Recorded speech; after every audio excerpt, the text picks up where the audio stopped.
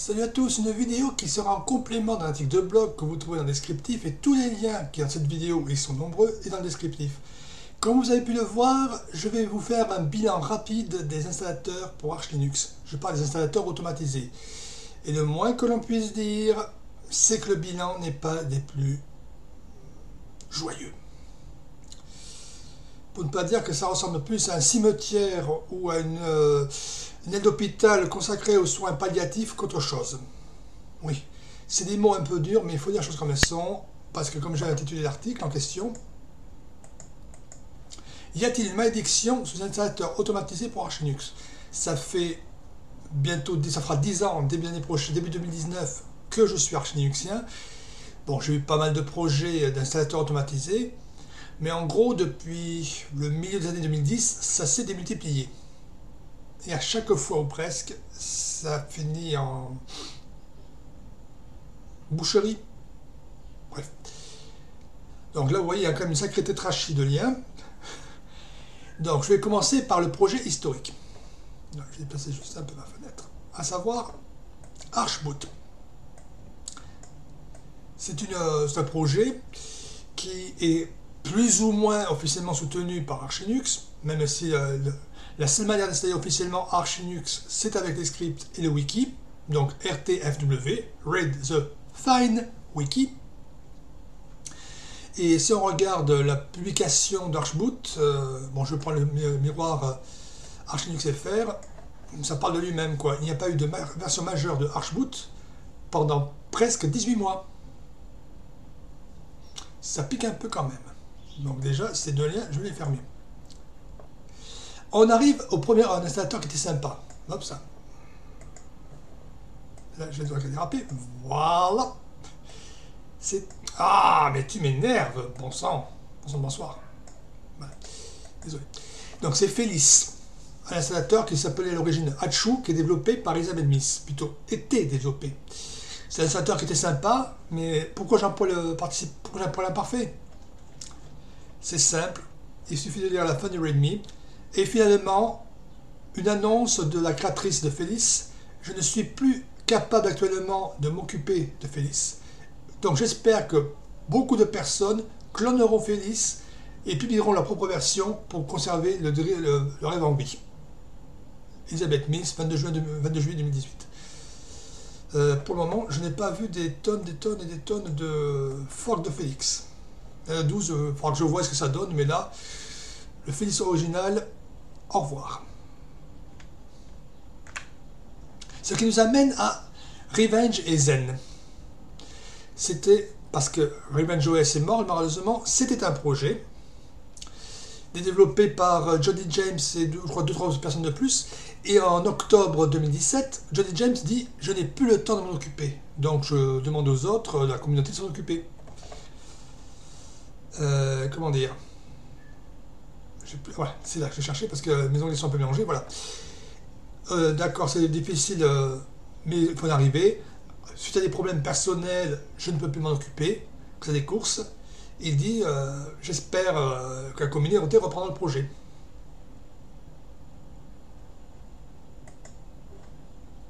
Revenge OS déclarée morte. Une de plus. Et SpookyDM, ce pseudo de la personne en question, avait repris le Revenge Installer en l'appelant Zen. Et sans être pessimiste, 28 avril, la dernière modification. Euh, ça sent mauvais pour lui aussi. Bref. Ça, c'est pour les installateurs assez récents. Il y avait un installateur un peu plus ancien, Architect, le projet PackBang, mais qui est marqué comme inactif.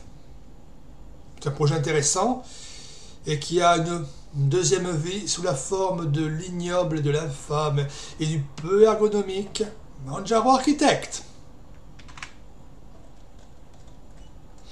Je n'aime pas cet outil parce que je considère que ça ne colle pas avec Manjaro.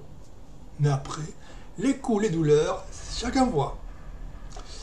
Donc, on en arrive à la coqueluche actuelle là je vais faire un peu les ongles inutiles, un Arch Linux, anciennement Arch Anywhere. la distribution qui... Euh, enfin, l'installateur qui a voulu devenir distribution. Non seulement il a fallu 4 mois à peu près pour qu'une version 1.0 sorte depuis l'annonce de euh, du changement de nom, mais depuis, plus rien. Plus la moindre image ISO. Vous savez, je fais partie du, des contributeurs au point que je suis dans le top 5. Au moment où j'enregistre cette vidéo. Je suis quatrième avec 89 commits. Je suis loin des 958 commits de Condor 2 ou des 838 commits de l'auteur d'origine qui semble avoir mis le projet de côté. C'est DD420, Dylan Sart, si je me souviens bien. Bref. Apparemment, il a mis le projet de côté. Et c'est Condor qui a repris le flambeau, mais. Comment dire? Vous voyez le nombre de bugs ouverts? 64. Et certains sont ouverts depuis facilement 8 mois, dont un qui est franchement ennuyeux parce qu'il empêche la compilation de l'image ISO graphique. Bug que j'ai rapporté. Ouvert depuis le 29 janvier 2018. Toujours pas corrigé. J'essaie d'apporter ma pierre, mais c'est un brin au-dessus de mes capacités techniques. Je ne suis pas développeur ou autre, donc euh, c'est au-dessus de mes capacités techniques. Et puis autre bug, c'est que le dépôt recommence à partir en couille, des potières. C'est pour ça que vous comprenez pourquoi je dis que les dépotières, quelle que soit la distribution, il faut les éviter.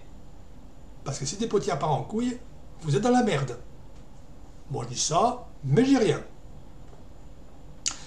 Quant au groupe d'Anarchy Linux euh, sur Facebook, il parle de tout, il parle d'Archman, euh, il parle de tout de rien, jusqu'au point qu'un des membres de, du groupe a décidé de pousser une gueulante. Merci de garder vos postes, de poster uniquement sur Anarchy. Nous ne supportons pas activement notre distribution. Si vous avez des questions sur d'autres questions, sur d'autres euh, distros basés sur Arch, allez voir leur euh, aide en ligne compagnie. Merci. Ça sent mauvais. Ça sent très mauvais. Et vous me direz, c'est Enchi, l'installateur d'Antergos. Euh, comment dire? Je pense qu'il faut aussi juste regarder le numéro de version de publication. Je sais bien qu'une version, euh, c'est franchement euh, arbitraire comme, euh, numérotation. Mais quand on voit 0 point quelque chose, on se dit, hum, ça pique un peu quand même, parce que le projet existe depuis 5 ans à peu près, ou 6 ans. Parce que si on regarde les premières publications, donc là, je vais essayer jusqu'au bout des publications recensées. On est déjà en 2015, ça fait déjà 3 ans.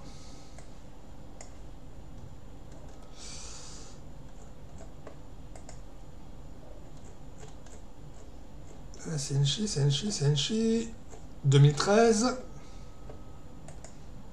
Ça fait déjà 5 ans. La version 0.1 date d'avril 2013. On est en septembre 2018. Donc on on a dépassé déjà les 5 ans. 5 ans que l'installateur est en version 0 quelque chose. Ouais. Pourquoi pas après tout hmm? Mais seul contre-exemple, comme je le dis souvent, c'est Calamares, qui lui arrive à s'en sortir.